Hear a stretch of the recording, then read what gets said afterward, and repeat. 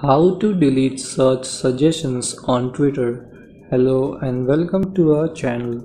In this tutorial, I'm going to show you how you can easily delete your search suggestions on your Twitter app. So please watch till the end to properly understand the tutorial.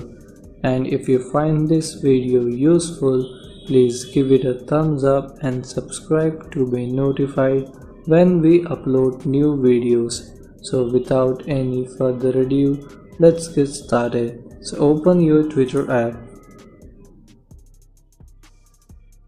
Now here tap on the search bar in the top. Here you will see your recent searches. To clear, if you want to clear specific search, press and hold it. And here you will see the option to clear. Tap on it if you want to clear this specific search tap on hold it and tap on clear. If you want to clear all of this at once tap here and tap on clear and all of the search will get clear. So this is how you can clear your twitter search history. Thanks for watching